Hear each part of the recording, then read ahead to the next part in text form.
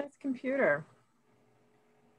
So we are now recording. I want to welcome everybody to our Perspectives of a Pandemic um, conversation through the lens of art with our guests Valerie Garlick and Stacey Queen. My name is Stacy Zakin. I'm the manager of Workspace. I'm going to tell you a little bit more about Workspace in a moment, but first we have a somewhat interactive um, moment for you all. Here are four pieces of artwork um, that we have hanging in our Perspectives of a Pandemic art exhibit. So I'm just gonna let you focus on one or more of them for a moment. You might wanna mute your microphone to avoid any background noise, although throughout the presentation, you are welcome to unmute yourself and ask questions or share anecdotes. So let's just take a minute and a half and focus on whichever image captures your, your attention.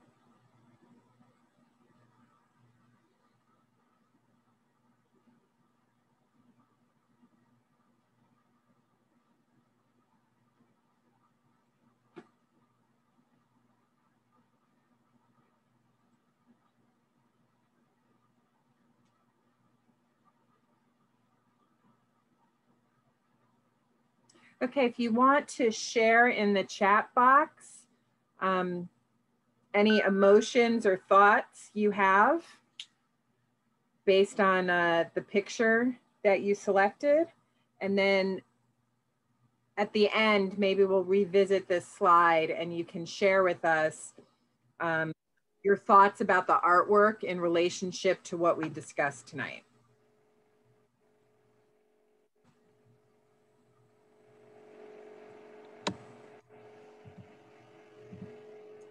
So moving on, uh, Workspace, who's sponsoring this event, we're owned and operated by the town of Manchester. So we're unique in that the government, the local um, municipality supports us in supporting small businesses, entrepreneurs, nonprofits, and artists.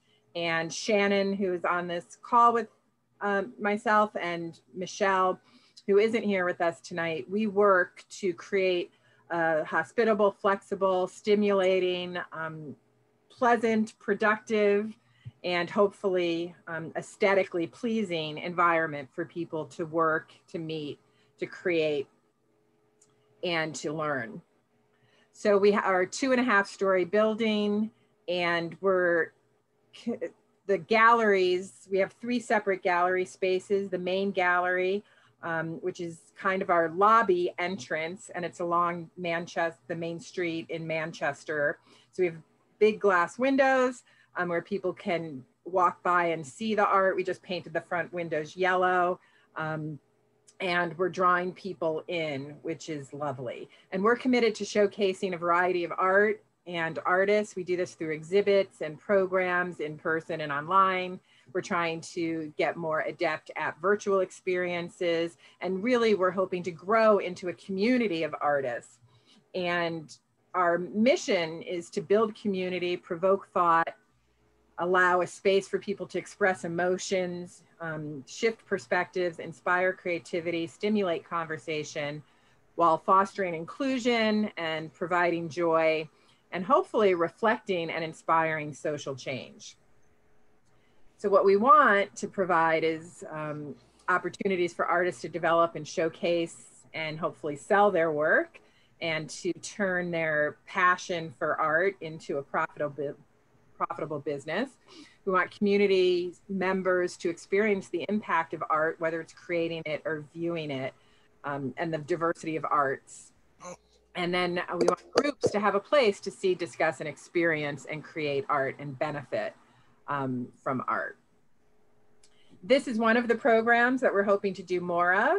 Um, and before we officially launch and welcome the, the speakers and your contribution to the conversation, Shannon's going to introduce some agreements for how we can have a respectful um, conversation on a what could be a pretty sensitive topic.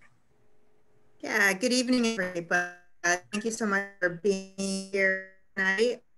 Um, we're really looking forward to what I know is going to be a great conversation. And before we get started, I just wanted to um, have us kind of build some consensus on um, want to remind everybody to share the air. So if you are somebody who's comfortable speaking and you know a lot, please speak your truth. Please, when you're talking, try to use I statements. Um, so speak uh, about your own experiences. Rather than the judgment, uh, I encourage you to listen with curiosity, right? So um, don't so much speak, be heard, listen to what are saying and give a pause before you respond. Expect and accept discomfort and non-judgment. the thing I'm talking about tonight are raw, personal, are emotional. So um, get comfortable feeling uncomfortable. And um, of course, we want to just keep creating and keep the conversation going. So tonight we're um, in this space. I'm encouraging you all to be as brave and respectful uh, somebody says something that um, we don't agree with, we want to kind of lean into that and, and talk about why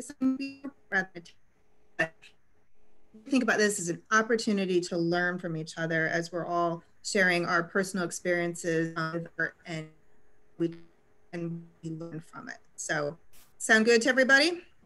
Sounds good. All right. Oh, yeah. Awesome.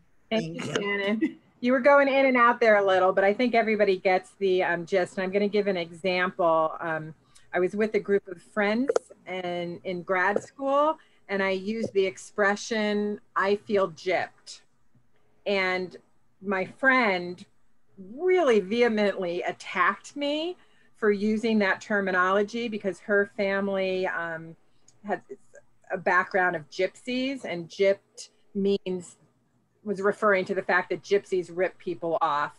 And she was very much insulted by it. I had never in my life understood the the, the word and i want to take responsibility for my impact of using the word but i was completely ignorant. And instead of educating me in a way that built me up she publicly tore me down so instead of being able to make amends to her for my inappropriate language i then I was so humiliated.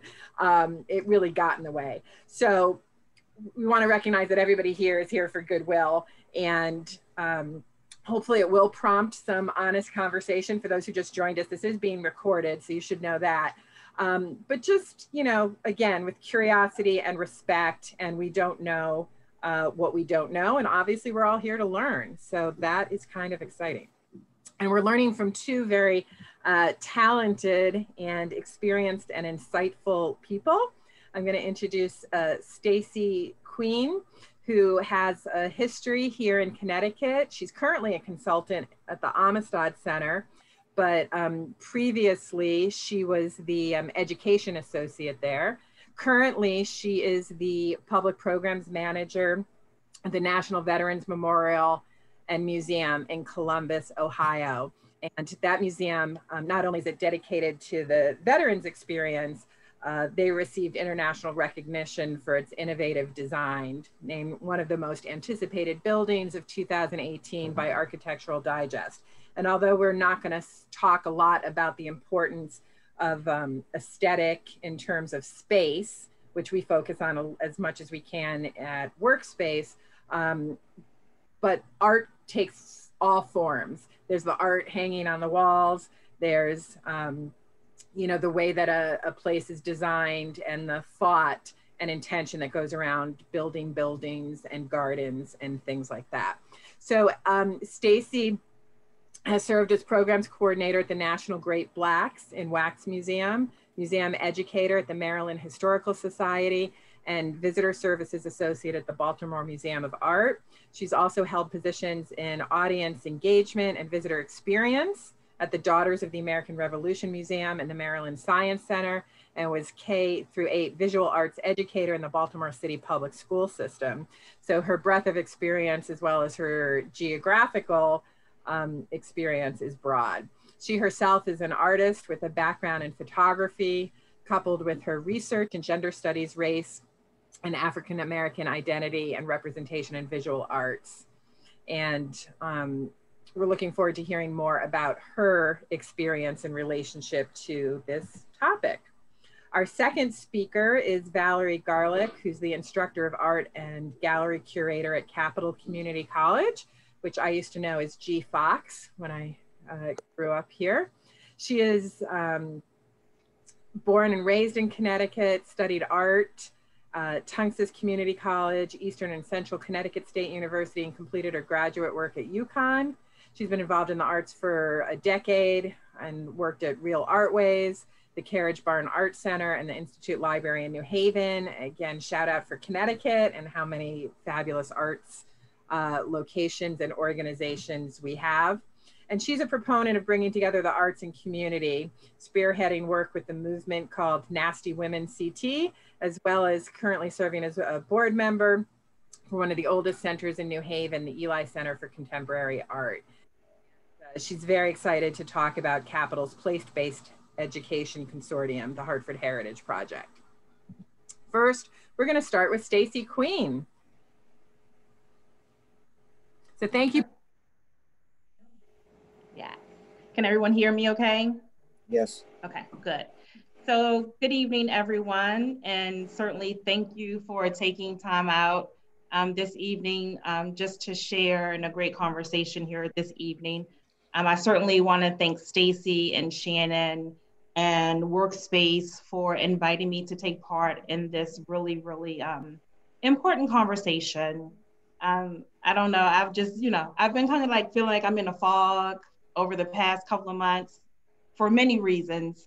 So um, it feels good to like talk to people and see faces and not having a mask and to see everyone's faces. So again, thank you all for having me this evening. So this first slide that we see here, um, you know, certainly as you can see, it reads um, Black Lives Matter, and that's me kind of standing um, towards the um, the left of the, the, the sign. And so this actually is, I mean, it's street art. This is da- downtown Columbus, Ohio, and right after the um, the murder of George Floyd that you know many of us witnessed, um, the city just kind of went into um, like military mode, and a lot of the businesses downtown in Columbus began to, um, you know, they began to put boards up just to protect, you know, the facades of the building and their, their property. Um, so once the you know all this plywood went up it, it just the downtown looked really desolate and it looked kind of scary so you know as we witnessed a lot of what we saw you know happening not not just across the country but across the world in protests to the murder of george floyd. Um, people took to the streets. And we also coupled with that you know that horrific moment we were dealing we were and still are dealing with a global pandemic. Um, so i think many many people you know i'm not speaking for everyone but you know just like they wanted to release anger or stress or built up tension um, so again in downtown columbus and in many cities across the country and the, again the world you know we the street art this graffiti started to kind of like rise like a, a rose out of the concrete. And I thought that it was a lot of it was just simply beautiful. I didn't know, you know, the artists behind it or any organizations or any organized, um, you know, groups that were creating this art. But I knew that I wanted to capture the moment. I knew that I wanted to pick up my camera and just go out into the streets you know, always being very safe. But I wanted to um, to really document what we were seeing like in the summer of 2020. because certainly this was a, a moment that I had never experienced anything like this. Again, with you know businesses closing and so many people dealing with unemployment and just the uncertainty of the moment. Um, so I really wanted to um, to, to take my camera and kind of hit the streets. And certainly, um, as an African American woman, um, the the entire Black Lives Matter movement. It, it kind of started with the the death of Trayvon Martin, that I'm sure many of us remember um, some time ago. And I, I kind of still deal with that. I am the mother of, of, of a young Black man. He's 19 years old. And I think about him a lot when he goes out into the world and how he's viewed as, as a person. You know, he's young, he's Black. So what does what does what does that carry for him and how do people you know ordinary citizens or the police how you know his interaction with others um, again really resonates and i think about that a lot again as a mother. And i do also have a daughter as well. I think about her as well. Um, recently we we heard about the, the the murder of breonna taylor. You know my daughter's young. She's in her 20s she has an apartment. You know so again these moments um, that really speak to the Black Lives Matter um, movement, I think about a lot. We can go to the next slide. So speaking of Breonna, Breonna Taylor, this this was another um, bit of, of street art or graffiti um, that again was kind of, you know, it, it was like a, a, long row of plywood. And again, these artists and some of them, they did leave a name or an organization um, that they're with, but this was just another, I thought, really, really beautiful um, piece of art that really resonated with me. So as you can see, it's a, a, woman of color and she has this big, beautiful hair or an afro. And within um, her hair, you can read the names of Breonna Taylor or Sandra Bland or Korryn Gaines. And these are, again, all um, women of color who lost their lives to um, violence that was perpetrated against them, some by the police. Um, Sandra Bland's death was kind of a mystery because she died in her jail cell after she was pulled over by the police. Um, so again, I, I'm, I'm looking constantly at this artwork in my community and wondering just, you know, as the artists were creating these works of art, I'm just finding the beauty, kind of like the beauty and the pain that these artists were really, really creating, creating this work, this body of work. Can go to the next one. And this is, again, just some, some more um, pieces of work that were along um, the downtown Columbus, Ohio. So you can see like this is a really fancy building. I believe this is one of the bank buildings in downtown Columbus. So if you can see like right behind the um, the boards, you know, it's it's all glass.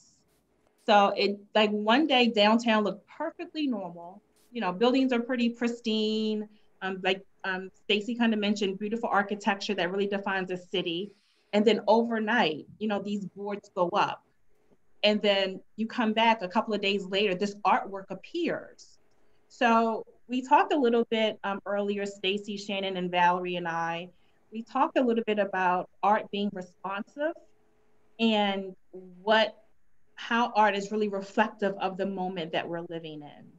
So again, these are just um, a few other images that were also um, part of that kind of downtown city landscape um, as a response to um, the George Floyd situation.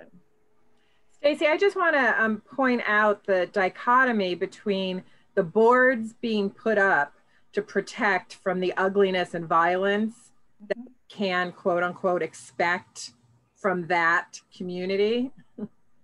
and then what resulted in was their contribution of this beautiful art that is so um, i mean sh- shines a mirror on the society in really a not only a provocative but a healing way i think. Yeah it was again like exactly. I totally agree.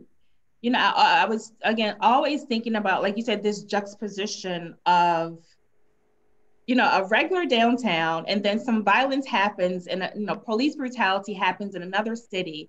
But so, I mean, if you watch the local news this summer, you you every night was a protest in cities across America, and kind of like a complete transformation, where you know, again, a lot of businesses shut down, um, and that was kind of due to the pandemic. So, so we're dealing with two um, really, really distinct situations here that if you saw the movie The Perfect Storm, they kind of both converged on us as a society.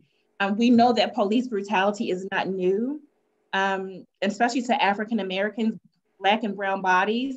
Um, if we think about, um, you know, 1619 and the way that African Americans were enslaved and how police used to police those Black bodies then. Um, you know, we think about the relationship that Black and Brown people have with law enforcement. Um, so I completely agree that it, it just, it, it, I was really in like a weird space because things just did not feel like very normal at all. Yeah, we can go to the next slide. So as I mentioned, um, this is my 19 um, year old son. So I, I would consider myself a very amateur photographer, but I love to use my family and friends as part of my work. Um, so again, he, I just took, picked up my camera and he and I hit the streets and we were, um, this was a little bit further away from downtown Columbus. Um, but again, it, I love street art and graffiti. So I just picked a backdrop and just told him to pose. And of course, as you can see, this is during the pandemic, he has on a mask and he has on gloves because you know we want to make sure we're not we're touching things and being safe. Um, but he just took to some posing, and this was one that um, that really I thought was really um, you know quite provocative. Um, I don't want to compare him to Jesus on the cross, but the position of him with his arms extended, or we could look at it like hands up, don't shoot. So, so many ways that when I in, um, include family and friends in my work, or if it's if I'm just kind of like playing back and just like taking some doing some photography of just everyday citizens going about their their daily activities, you know, it's just amazing what we capture when people are in their natural environment. Um, so this this image, um, you know, I posted on social media, and a lot of my friends commented on the image and just considering him as a, a Black body in 2020 and as a young man and all the sto- stories that we hear unfold on the news and, and you know and, on social media of the way um, the ways in which American society views black bodies. Um, so this was certainly um, this is a meaningful image for me. Okay. Now here I am this is actually on July 4th, this summer, 2020. So I did a post, um, and the question I, I posed was Can African Americans celebrate Juneteenth and 4th of July? So I, I, it made for a really, really engaging conversation. Um, but this image, again, it just, I was in a funny, a funny headspace so I picked up my camera. I went downtown. It was early on 4th of July. It was a beautiful day in Columbus, um, Ohio. And I knew I wanted to like capture some red, white, and blue. Um, I personally love July 4th. Um, so I think that, you know, as a country, we should be able to celebrate Juneteenth um, in the history behind Juneteenth, as well as July 4th in the history of July 4th, especially understanding that um, African Americans have always played a pivotal part in Ameri- American history. So I took to the streets again with my camera. And sometimes I need help because if I'm going to be in the picture, I can either use a remote control to take the picture with a tripod, or I can just um, have a friend. I can I can like position myself in the setting and have a friend just hit the clicker. But um, really quickly, this was really unique because if you can see, the police car is also in in this image. This is downtown Columbus, Ohio, 4th of July. It's a holiday. Again, the streets were like empty, completely empty, but there was such a heavy police presence. So again, it, I'm thinking about how police are policing the streets. policing the activities of um, citizens just going about their daily activities. Um, so I was, and I never felt like I've, I've been followed by the police or the police were watching me. But in that moment that I was holding up a scarf under a flag just downtown, that the police, um, you know, they, they, they had a great presence. So again, I'm thinking about police and the way that they interact with, with people of color or people who they think are going to do damage to property um, and how we can relate um, in these moments and understand what's happening um, in, in the society that we live in. Um, this is a, an image. I just grabbed this image from Google, um, from Google Images, and I also provided Stacy with the link. So if you want the link to, to the next few images that you're going to see quickly. Um, so if you think about the art that was being created, um, again, on, on these plywoods that they, they were protecting and boarding up buildings, but we also really saw this um, emerging art on buildings and of course, with the murder of George Floyd, we saw a lot of, of artwork with his face and using his image. And what does that mean, again, in representing um, the Black body? As a Black man who's no longer, longer with us, however, his kind of his legacy continues visually because we, you know, again, if you Google murals of George Floyd, you know, tons of images pop up from on buildings all across the country. So I, I, I think about that a lot as well, the way that we're responding to the moment and the way that we're kind of like memorializing um, his legacy and his the representation of him as a black man. I also I want to invite people if they do want to say anything because George Floyd's image more than most was reproduced in so many different ways. And I'm wondering if anybody has any thoughts or feelings about seeing this image or the ones that they saw or the video footage mm-hmm. of, you know, a man's knee on his neck. Mm-hmm. Feel free to unmute yourself if you do want to say anything. And, you know, it was, for me personally, it was, of course, certainly difficult to watch that, the video and then the constant replaying. And I think a lot of news outlets were really sensitive about like that moment when he just like he just stopped saying I can't breathe or you know. Um, so yeah, it, it is it's, it's still not easy today to to watch and to think about him. And I think about his daughter a lot, you know, uh, that little girl who no longer has her dad and what life will, will be like for her. Can I ask something? Yes, Matthew. Hi. Uh, one of the issues uh, that I think we have to contend with, and you've mentioned it several times, how the nation feels, how Black males are portrayed. I, I have a problem with the universality of that. I, I have a hard time thinking about any cohort in terms of 100%, all women are, all black men are, all white people are, all police are. And the art that's being shown tends to create a stereotypical view. Not, I can't believe that all black people think alike, all white people think alike. And I think there's a missing link here when we say, let's look at the term violence. People who live in violent situations, they're not all black, they're not all white or Asian. If you had to look for a nexus nationwide, worldwide, of people who live in violent conditions, if you couldn't use race, what metric would you use? Who are the people who live in violence?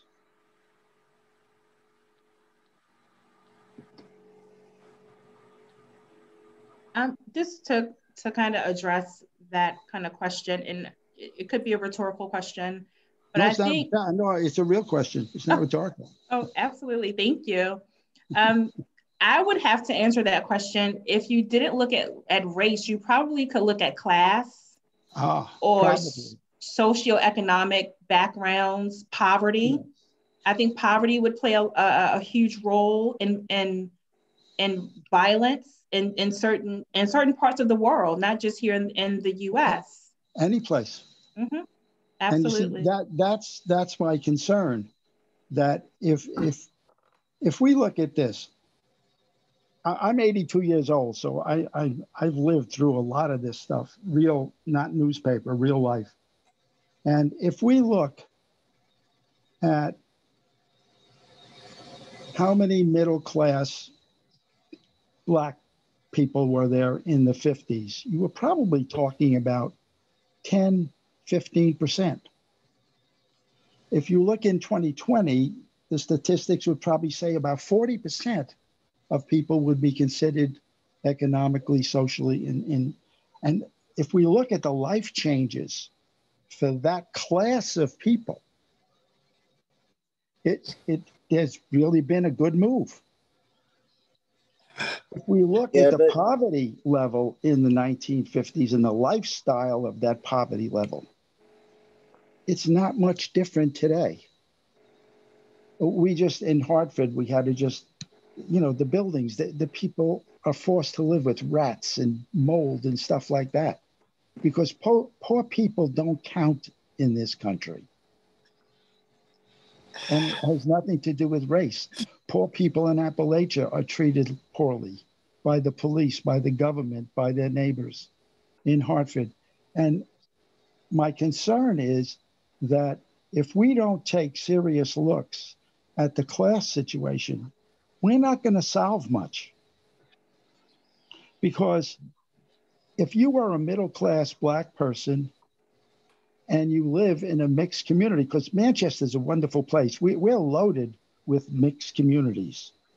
We have a great Muslim population, we have a, a mix of white, black, and that that areas that have mixed populations that would be, if you allow me calling them middle class, there's a great homogeneity. There's no crime there, but there's crime downtown. And it's not because a lot of minorities live downtown, it's because that's where our impoverished people live. Uh, And I don't thank you think that's for, getting um, enough play. Yeah. thank you for, for bringing that up. It, it is something to, to think about. um, I, having done worked with somebody who was researching Martin Luther King, and according to her research, towards the end of his life, he came to regret the focus on race as the primary when he did think it was the economic. As Liz said in her um, comment here, you can't separate the race from economics because the way the systemic sys- the economic system works, it is disadvantaged to black and brown people. So there's um, definitely a connection and it's great to bring it up in these topics to realize how integrated everything is and how holistic a solution a solution must be. Uh, I- can, can I, Yeah, Can I- who speaking? Pat? Hi, Pat. Hi, how are you? Good.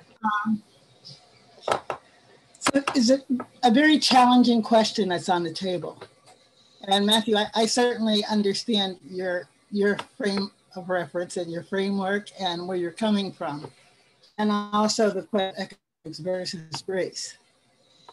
But I, I, I think it's important for us to take a look backwards and look at the, the evolution of um, knowledge and wealth and um, where the of race came from and how closely it was related to money and power. Um, the question of not looking at race is almost a non sequitur because since the 1600s, I mean, there was a time when there were not like white people, or people weren't white and black. 1600s, we're talking about land and ownership. And somebody said, okay, you black people, you can no longer own anything. You can no longer, um, you can't testify against a white person. And also, by the way, you're not, you're not fully human and you're not acceptable. Now, from that construct, we have evolved with a psychological frame of reference that really is not about race per se, because even those of us that believe that race is real, it is elusive what it is. You know, it's yellow, it's red, it's black, it's white. No, it's not about race. Race is a a it's it's like a linchpin that informs us of who we are and who different others are. And it informs us through what people essentially look like. And when we get to the question of middle class, I mean, economically, 7.5% of the wealth is shared between the poor and the middle class. So there almost is no middle class per se. However, the question of wealthy Black people is a whole different question because wealth free you from the experiences and consequences of being a person of color. Even among people of color, it doesn't do that. Yeah. And, and you ask, I, I sat about 40 years ago in Hartford with 20 Black males from people who were homeless to heads of corporations.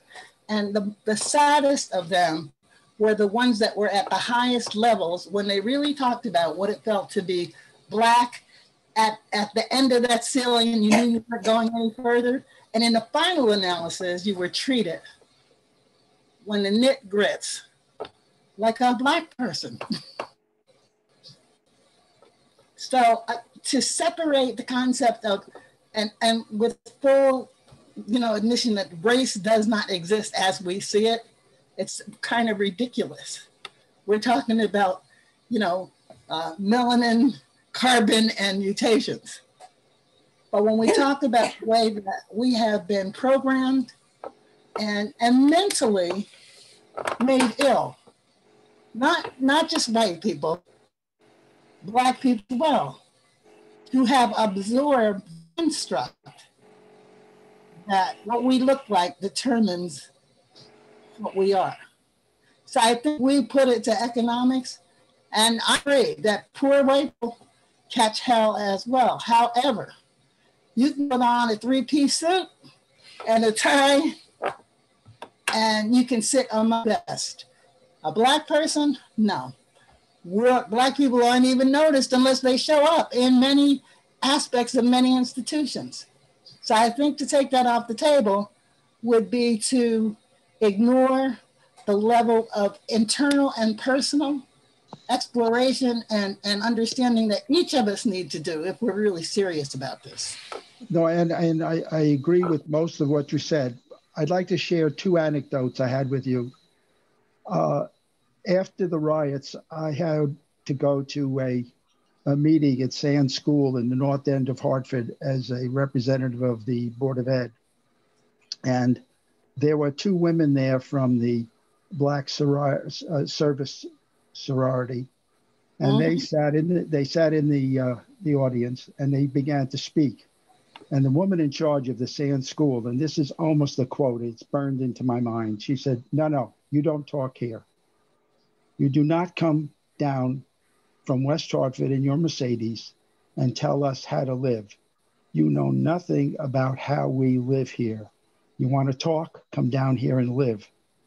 On the flip side of that, when I was in West Hartford and I was making a plea for Project Concern, which is now Project Choice, bringing minority students into West Hartford, I wanted to expand the program because I thought it was so beneficial.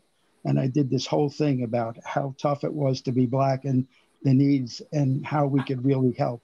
And this man came to me, a Black man, and said, Mr. Borelli, I know what you're trying to do, but not all black people are alike, and he walked away. My issue is not, I am not ignoring race, it's a real factor, but I'm having a problem that not all black people see the world the same, are treated the same, and poor people of all colors are absolutely universally treated poorly.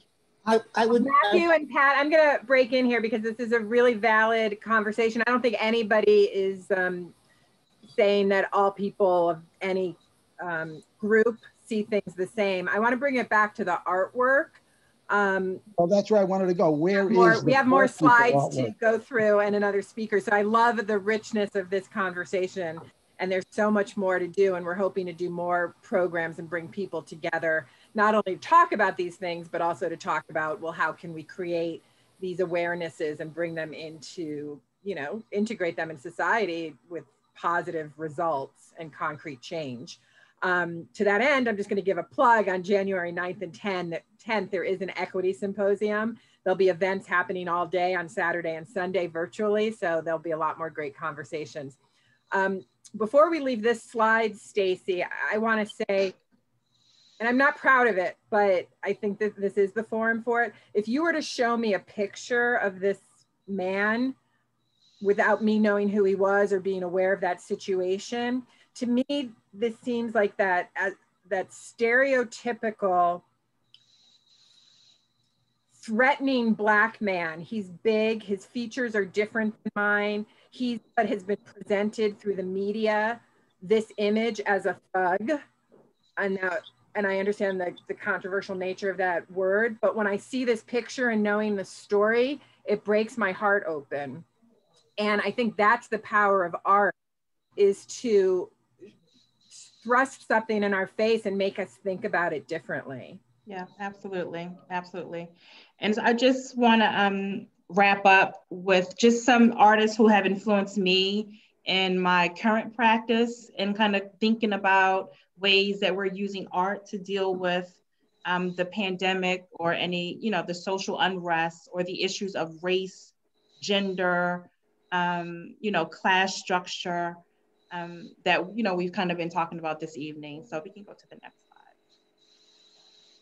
And really quickly, this is an image, you know, we, we were inundated with rallies this summer, but this is a great image from James Vanderzee in 1924 and this was at a rally for um, Marcus Garvey in Harlem, New York. So as we think about the ways that artists have captured moments um, that were um, during times where you know society had a lot of you know issues with race. And if you know the story of Marcus Garvey, he was sometimes considered a, a controversial image in black uh, individual in black culture. So uh, uh, this image really really speaks to um, this kind of coming together of people of color in Harlem um, at a, a, a, a, rally about race relations in the country. Next. Um, again, this is um, another image that a, a, painting that has influenced my work by Jacob Lawrence. This is part of the migration series. And I just really want to point out, you out of all the, the bodies in this painting, you can only see two faces. And those two faces are of police policing Black bodies. So you see the backs of the people of color, and this is the um, representing again the great migration from the South, and African Americans are moving north to a lot of cities, uh, you know, looking for job opportunities, better housing, better schooling for their children. Um, but the two faces that we see in this painting are uh, of the police. And last but not least, um, Emory Douglas, who was the Minister of Culture for the Black Panther Party. Um, you know, his his um, iconic images images really um, captured that moment during the the 60s when the Black Panther Party was really um, relevant to the movement. And you know, they the Black Panther Party they wanted to police the police, and these images um, that were created by Emory Douglas really, really spoke to that moment. So just as artists are speaking to, to the pandemic and the, the kind of senseless violence that we see against Black and Brown bodies today, this is not new. Artists have over decades, centuries have always been responding to moments that that they were living in. And you know, Valerie, I'm going to give you the floor next. But again, thank you for allowing me um, to share some of my work in photography and the, you know, what I'm thinking about as we're living through um, this kind of year of 2020 and actually about to step into 2021. So hopefully things will, you know, days will be ahead as we enter into a new year. So thank you. Hi, everybody. Thanks for having me tonight for the community conversation. Thanks to Stacey and Shannon at uh, Workspace. Um, I was in there today checking out the exhibit and I um, found great peace walking around the artwork. I found that I slowed down. Um, the stress of a finish to a busy semester had been getting to me. Um, I was fresh off a doctor's appointment and walking into the space, I was greeted and I had time to meander. And I love the way it's organized and the sheer volume of all the work. So I imagine tonight that most of you here attending are artists in the show. And so I'm going to try to frame my talk accordingly. Um, I also am sitting here looking at my um, outline of slides. And as Matthew and Patricia have been speaking, um, I'm, I'm thinking to myself, how many people of color are you going to see in my photographs? And you will see some, but you'll also see some screenshots of my online teaching. And I think that's where we start to see the color disappear. Um, I want to talk to you tonight about um, online teaching, and I think that's relevant for you all because as artists, maybe you do run workshops yourselves. Um, but I don't want to do it in a vacuum where we are immune to understanding that going online in school has really shown a light on the um, uh, disparity among resources and how it's not so seamless as, as it should be. That said, um, I want to focus on the positives, um, some of the unexpected happy outcomes of moving online with learning art, um, and look at where we might be um, going during a pandemic. Uh, I also want to give a shout out to a couple of the artists in the show whose statements really um, rang true. So I'll launch into my slides in just a second, but I think it was really um, quite poignant that Trey Brooks, one of the artists, um, termed 2020 a roller coaster. I feel the same exact way. It's not over yet. Um, and Sarah Siamaya um, has said in her statement on the wall 2020 has shined the light on multiple diseases in society. So, what I'm going to do is walk you through what um, moving to online learning in teaching art has looked like for me, um, but also culminate in showing you a few different uh, projects that I designed for my students tackling what Sarah has termed multiple diseases in society. It's not just a pandemic, it's a plague of systemic racism and so many other things uh, included. So here we are, we're looking at the old G Fox building, which is Capital Community College. And this is my um, front door to work. This is the main lobby. So we're a vertical campus and the art studio is on the 11th floor. Uh, the elevators uh, look different now. The floor looks different now. I find it interesting too that this photo, which I borrowed from another presentation, is almost downcast. Um, what you what you don't know, but what I know is that closer to the front of the building is the art gallery at Capital, um, which has been closed since the start of the pandemic as well. So it's a quiet time at Capital. There are some classes going on, especially um, clinical nursing programs, but uh, for the most part, I've only been there a handful of times this past semester because I had one uh, online um, for um, sorry, hybrid painting class. And so we can go to the next slide.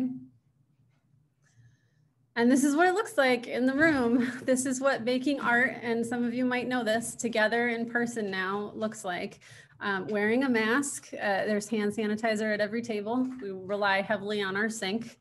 And um, it's stuffy. You know, we don't really have too much ventilation in the room as it is, and the numbers are halved and halved again. Uh, it was nice to get in person and make art together, but a lot of the students have indicated that they feel safer staying at home. So um, come spring, all of the classes for art will be live remote online learning, meaning scheduled time together virtually. Uh, we'll go to the next slide. Oh, back on, back, back. Yeah. So some of the things we lose when we're not in the classroom, uh, and these are, you know, resources are the ability to set up a studio as art students who maybe never took a painting class before. There's not an easel at home necessarily, nor is there, and we love this tool, the tracing box uh, or cubbies to store work.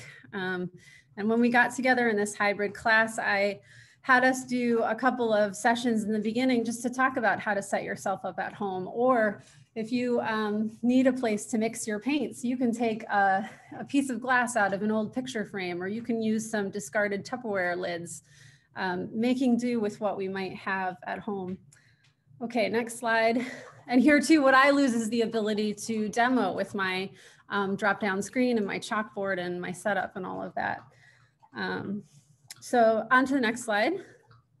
Here is what's coming in spring we're rocking and rolling with art. I'm a year and a half new to Capital, um, and I am based in New Haven, but in Hartford a lot of the time while I do my teaching.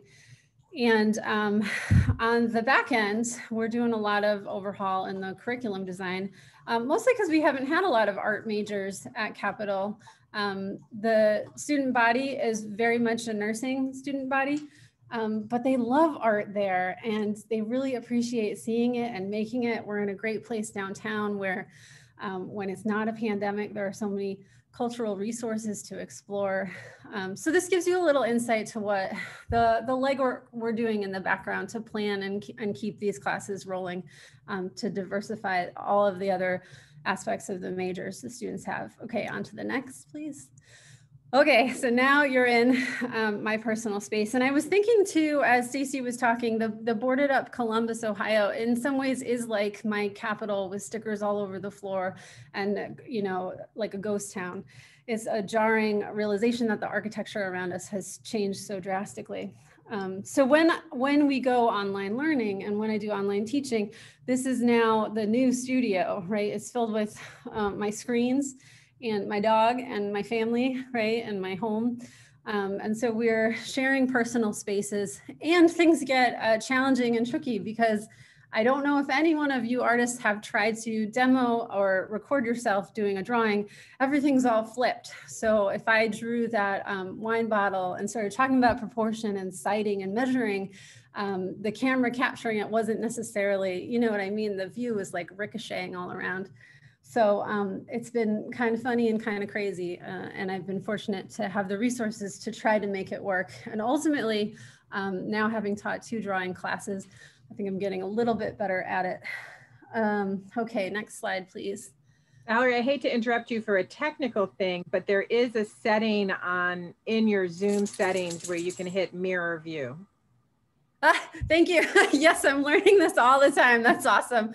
Yeah, and I do feel among friends with you all because I talk to the other um, the other art professors at the community colleges and they help me and i am so excited to see oh the uh, workspace gallery has this whole network of artists. I mean it seems like you all already know each other and that's really warming so thank you for that um, and so this is what I see when I'm looking at the screen and I'm teaching. So my little still life is set up there. But but again, I bring this up to show you that like, you know, people's kids pop in view and um, there's a lot of background noise and it it just gets a little bit um, crazy sometimes.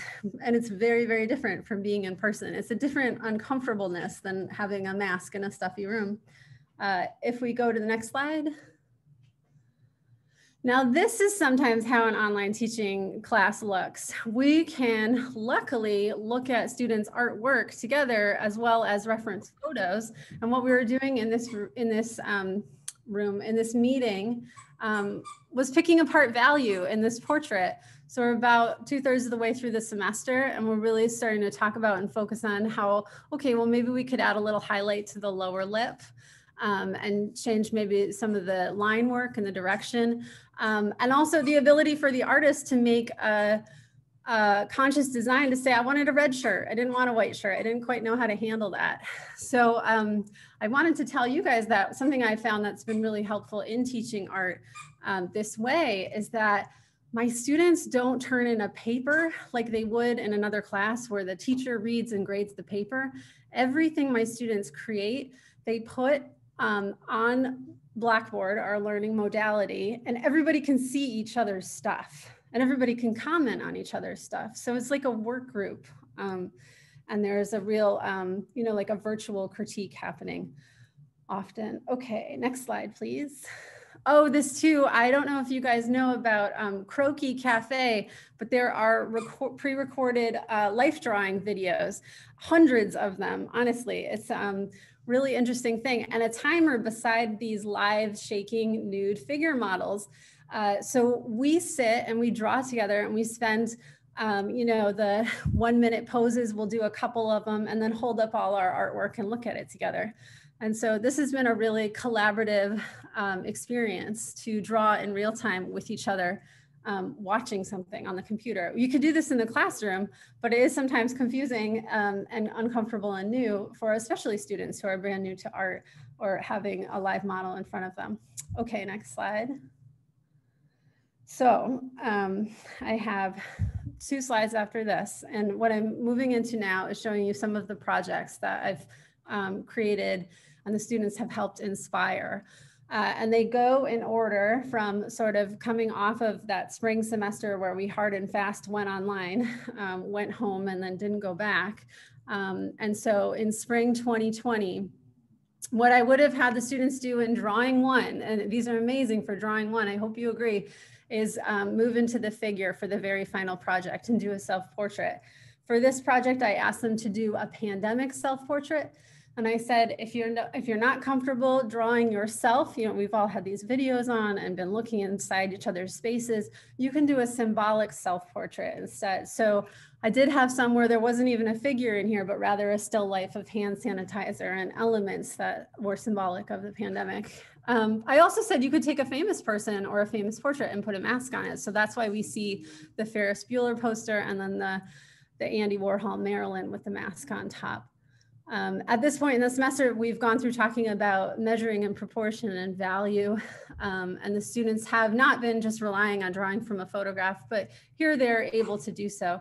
And I think they were really proud of how these turned out. Okay, next slide.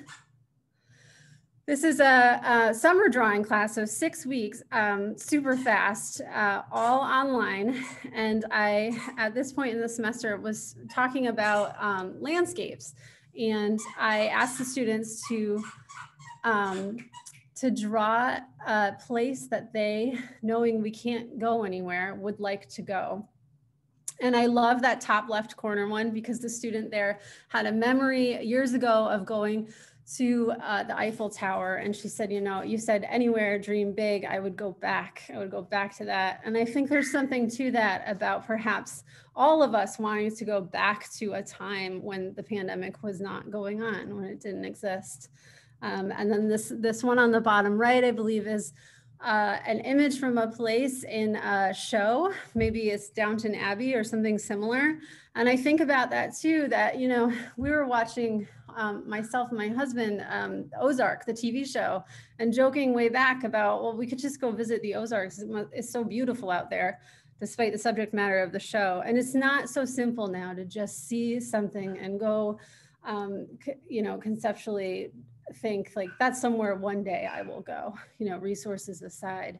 Now you can't, you can't get a flight to where you want to go. You can't um, leave the state without looking up travel restrictions and on and on. Okay, next slide.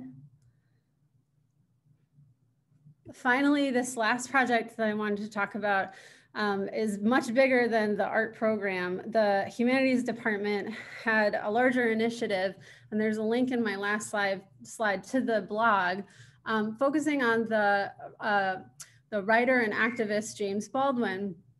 Now, in this point in this fall, this semester, um, my students in both drawing and painting were working on landscapes. So we're right after still lives and we're right before the figure and they've covered value and they've covered uh, perspective.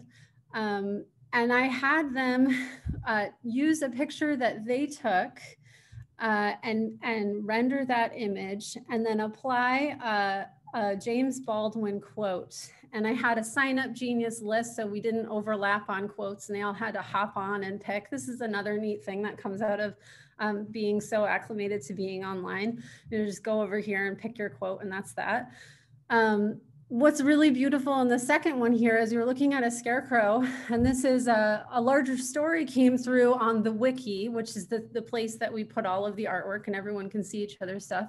The artist statement was that she made this scarecrow while working at um, a nursing facility with the patients. So she was bonding over a, a you know a childlike activity something that um, brought back memories for her but was like an accessible um, exercise that um, made you know the the depression of the workplace lighten up a little bit. And then she made art out of it you know she then made a photo and then she then made a drawing. And, and there's a beautiful quote you know she had the latitude to pick from quite a few that she added underneath. I actually don't remember it offhand now but um, we did some cool things in this. I don't know if any of you have tried pencil transfers, but it's a great way to get text on paper. We were looking at fonts and letter design. So um, so you can go to the next slide. So these are just a couple of links. Um, I, I hope that it's relevant what I'm talking about with you all today. And I so appreciate what Stacey was talking about before and the insight into looking at another city uh, and seeing um, what's been coming out of the collective trauma of this pandemic. Um, I do want to stay on a really positive note and say that like teaching gives me lift and as an artist to work with art students, I'm always learning all the time too. So thank you. Thank you so much. Uh, it's obvious that it gives you a lift, your, your passion and enthusiasm as you're talking about the work and the students and the positives that have come out of the virtual um, connections. Uh, so thank you very much. And thank you for your kind words about the exhibit. Um, it was Shannon's idea to paint the some of the walls yellow, including the front facing um, wall to Main Street. And it's amazing how color alone um, really impacts and to be conscious of the, the power of art during these challenging times.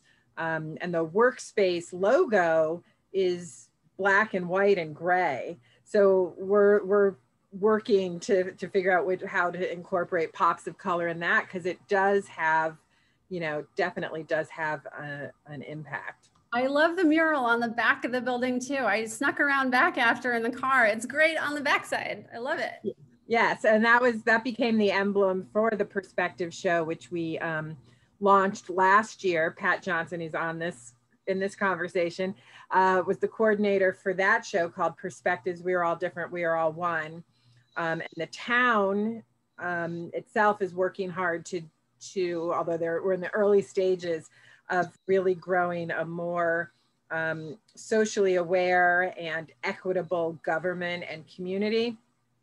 Um, so that was the proposal that was put out to artists to find some sort of image that would represent the diversity and the growth. And we've got for people who don't know, it's brightly colored arrows going in all um, different directions. So Can I ask a question? Thank you for noticing that. Yes, Matthew. Uh, do you have to be a uh, community college uh, person to take the course, the art course? Well, you'd have to register, you know, but you don't have to be degree seeking. Okay, so a poor person who dropped out of school could take your course?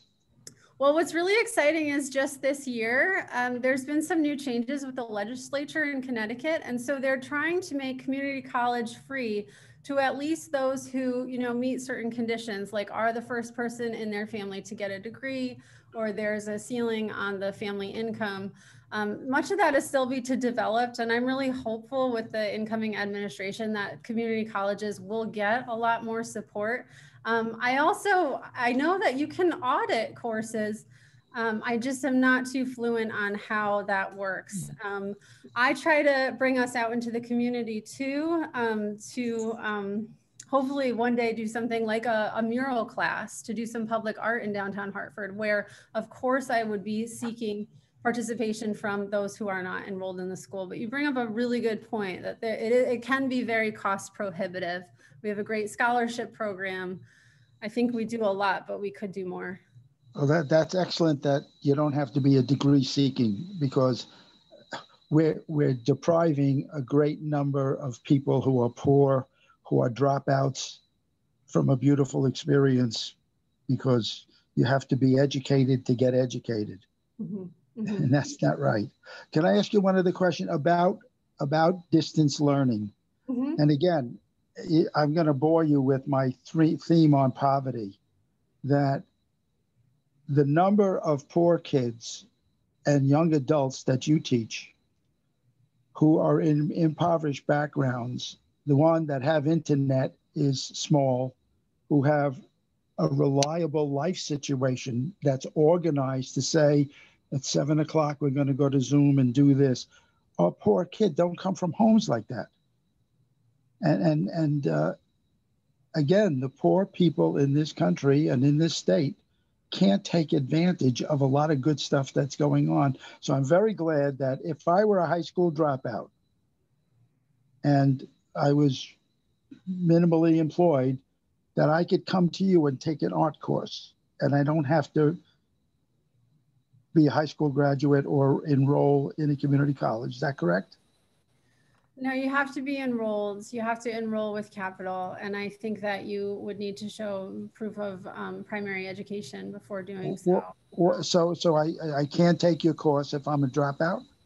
I'm not really sure about that, but that's a really good point. Um, And and if if if not, we need to advertise this because that population could use art a lot more than other people. Absolutely, absolutely. I feel very privileged and proud to be working in the community colleges as Yes. a It's as a a great role. between high school and perhaps future degrees or career. Uh, it is a different teaching experience than, let's say, private uh, institutions. Thank you. So for anybody who is um, on this it, um, call, if you know of classes and opportunities and resources, um, please always share them and tag uh, Workspace. Our we're um, at Workspace Manch, M-A-N-C-H, um, and then we will share it or notify us at the galleries, and we will try to share it um, with our network with the hope that they will share it with the people that that we don't reach. Um, I do want to bring the conversation again um, back to art and the way that we opened this call was with these four images and we have over a 150 different works of art including um, gwen's pictures and matthew's poems and who else corey had pictures arpita had to drop off um, the call and it's such a diverse range of perspectives, which is why we call it perspectives of a pandemic. These are only four. We have St. Pfeiffer's work in the top left. The top right is by Katie Fogg. The bottom right is Andre Chaparro. That's mixed media. And the left is actually a community college student, Jordan Hughes, bottom left. So I'm just wondering if any of these spoke to anyone and if you feel comfortable sharing um, what reaction does, does it come out at you with some pronouncement or do you feel that it draws you in so feel free to open up your microphone and share to say one thing briefly, and that is I appreciate that you have taken a track of opening your gallery to, to social kinds of things, to things that are important to human beings in the moment, and that you've done that consistently. I, I, I did with you, but I, I watch you and you're doing that, and you should be congratulated for that because many people aren't on that tip. The other thing is that that art, to my involvement in it, has to do with two basic things, and that's experience, communication, actually three, and expression. And there's so much right now that we need to be able to communicate about. And the arts have just an amazing way to communicate expression and experience and give us the opportunity to then take that, expand our own selves, and share that one with another. So keep doing what you're doing, Stace. And, you know, people would need to keep talking. I mean, um, Matthew, I agree with you that some of the things that are happening in impoverished households are, are, are sad, etc. But there's a flip side of that. And that has to do with the creativity, the richness, the expression, the knowledge, and the experience and the worldview that people bring up out of those experiences that enrich us all. And we can see through the art, our own personal experience. So, you know, I, you know, I'm going to go back to we were all different, we were all one. But the arts are an amazing um, avenue for the changes that we all can be. And thank you, Stacy. You bad. B A D D. Oh, thank you. Thank you very much. I will tell you that um, we're going to be doing a lot more shows like this. We're hoping our perspective show is um, next year is going to be perspectives of home, which will again be whatever artists interpret it, lovely memories of their childhood home to the housing disparity due to economics and poverty. Um, so that's going to be a rich program. But we're also planning to uh, support our local breweries by doing an exhibit of beer label art. So it's it's the full range we're we're going to offer. Um, in promoting this program as well, we talked about, and we haven't didn't have time to focus on it tonight, but we thought about when you look back at other periods of trauma and civic un unrest, um, if you just Google it, Time Magazine, you know, did a whole program or a, whole magazine in May on the art that came out of the Spanish flu pandemic. And it, it's really interesting to think about these artists here that we're looking at now could a century from now be on the cover of Time Magazine when, God forbid, we go through another one of these um, experiences. But just the diversity, the use of color and the style and the movement in these pictures, as well as the pictures that um, Stacey and Valerie showed us. Does anybody, again, have any thoughts before we, we wrap up this conversation or other images that they've seen or art that they've created and how it's helped them cope, um, process their feelings? Gwen, what about you? You're a visual artist as well as an entertainer. How, how has the creation of art helped you since March? You have to unmute. Stacy, I have to go. Bye bye, everybody. Bye, thank, thank you. you. Bye bye.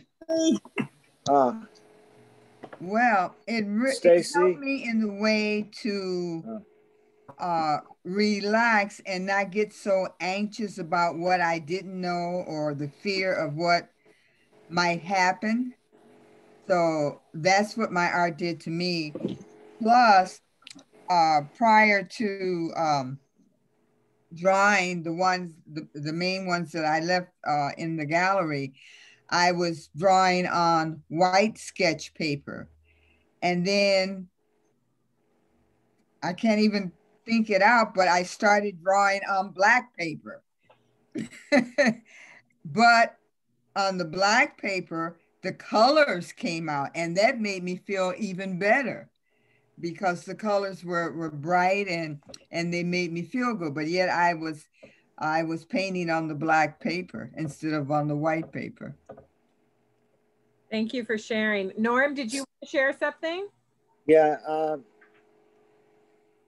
one of the things I thought that we were going to discuss, and I guess we just didn't get around to it, I didn't speak up soon, was that art is a doing artwork is a form of healing.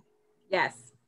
And uh, as Stacy knows, I I'm a Parkinson's patient, and I've had Parkinson's disease for 13 years now. And sometimes my hand shakes so much, I have to switch hands. Or sometimes I use two hands. But it, it is a form of healing for me. Uh, sometimes I get out my aggression and I do a wild abstract painting. And other times I'll do a landscape or a still life. But it's it's very soothing, and that's yeah. I I think it's well. Yeah, thank you, Norm. And it, it's, it has a, an amazing impact for us because we do have your work not only in this current exhibit, but we've had it throughout the building at different times.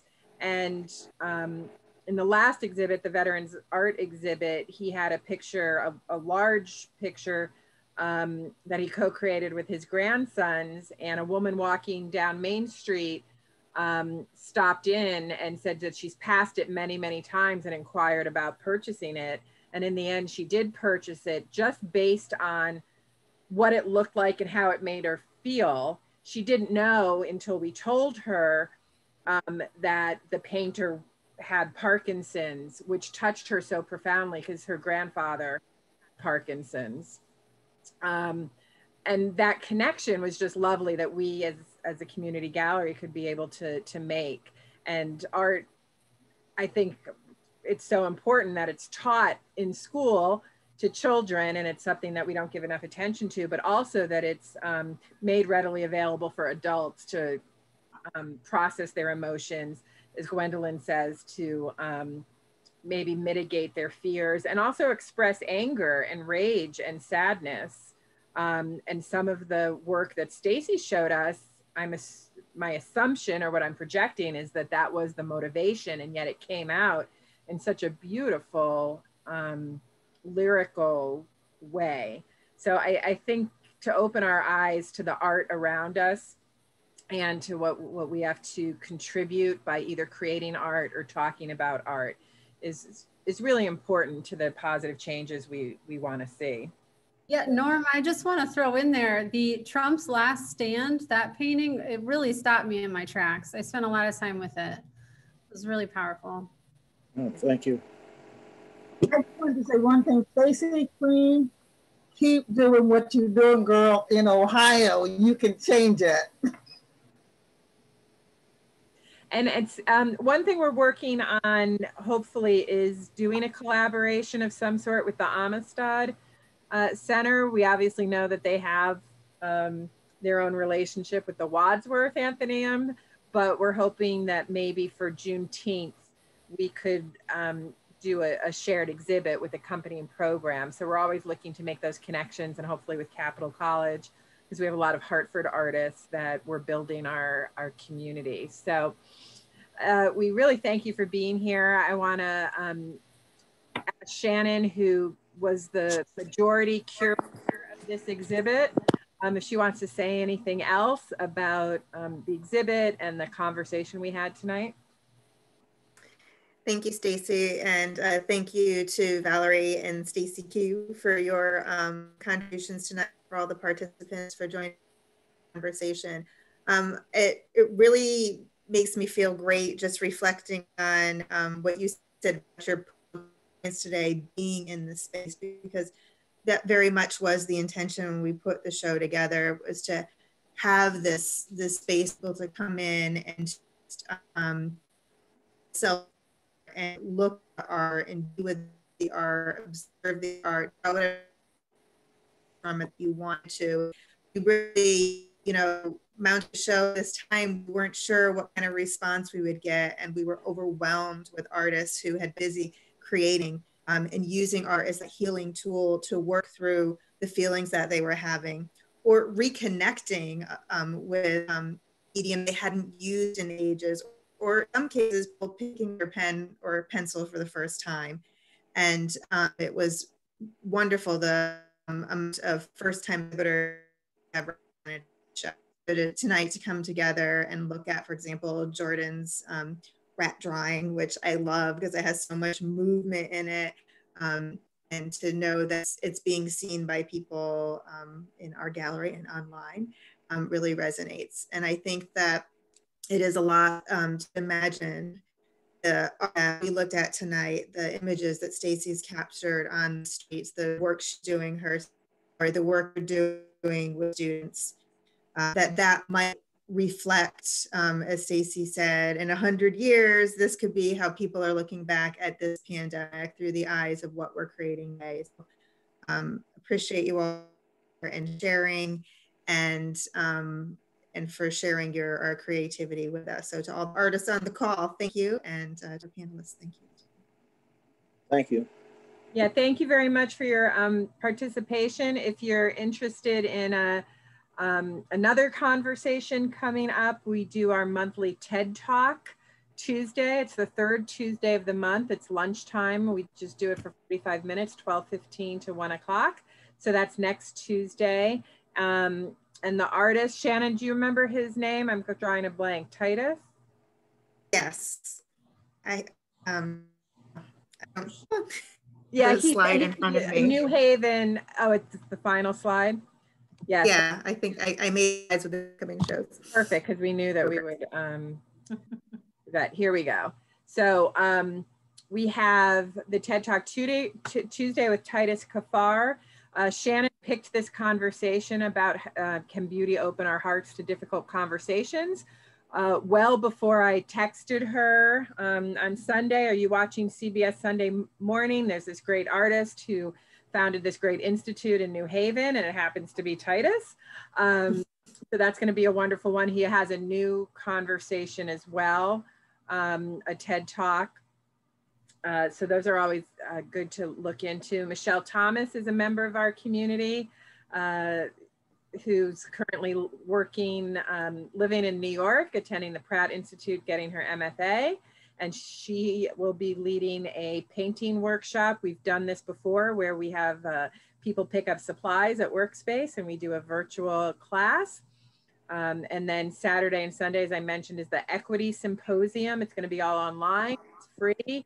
Um, we have an amazing slate of speakers that we're getting ready to um, make public. And we did this uh, in person last year, one half a day, and now it's it's evolved from there.